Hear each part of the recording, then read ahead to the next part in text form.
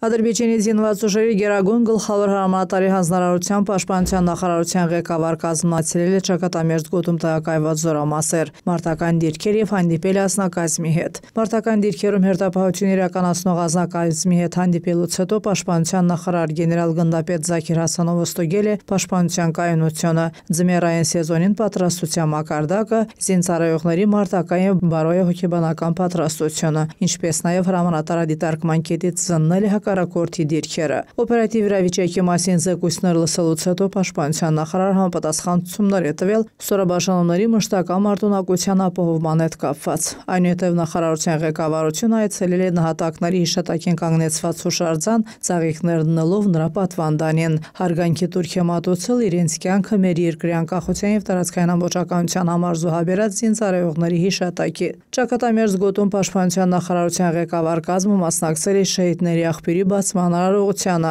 Աղբյուրի տարածքում տնկվել են չինարիներ, որոնք համարվում են երկարակեցության խորհրդանիշ։ Պաշտպանության նախարարը այցելել է նաև առաջնագծի մոտակայքում տեղակայված նոր ինժեներական ավան։ Զեկուցվել է, որ ավանում ստեղծվել է անհրաժեշտ ենթակառուցվածք բարձր մակարդակում ինժեներական դասընթացներ կազմակերպելու համար։ Մարտականին մոտ պայմաններին համապատասխան կառուցված ուսումնական կենտրոնում նախատեսվում է կատարելագործել ցաներ ռելիեֆային եւ կլիմայական պայմաններում գործնական կառավարման հմտությունները։ Պաշտպանության նախարարը հետևել է տարբեր ստորաբաժանումների մասնակցությամբ անցկացվող դաշտային վարժանքների եւ համապատասխան ցուցումներ է տվել ինժեներական զորքերի համանատարությանը կապված հանձնակազմի մարտական պատրաստվածության մակարդակի բարձրացման եւ ռազմական միջոցների արդյունավետ օգտագործման հետ։